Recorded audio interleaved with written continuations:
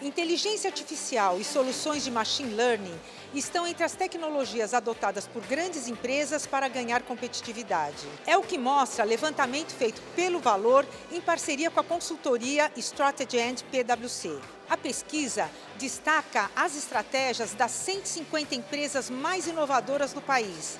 Você pode conhecê-las na revista Valor Inovação Brasil. O anuário premia as 10 companhias que lideram o ranking das mais inovadoras, além das 21 campeãs setoriais.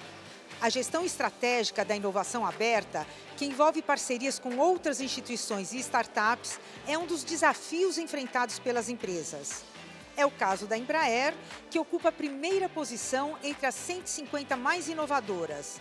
A companhia aplica cerca de 10% do seu faturamento anual, de 6 bilhões de dólares, em pesquisa e desenvolvimento. A Embraer, ano que vem, está fazendo 50 anos. E são realmente 50 anos dentro de uma indústria extremamente complexa, muito competitiva. Existem uh, empresas extremamente importantes de países desenvolvidos ou super desenvolvidos eh, que não aguentaram o tranco e ficaram pelo caminho. Nós, ao longo desses 50 anos, a Embraer soube eh, realmente, através da inovação, que é realmente o DNA da empresa, soube atravessar as várias fases e conquistar novos mercados, desenvolver novos produtos. Hoje a Embraer eh, absolutamente não fica nada a dever em tecnologia aos maiores da indústria.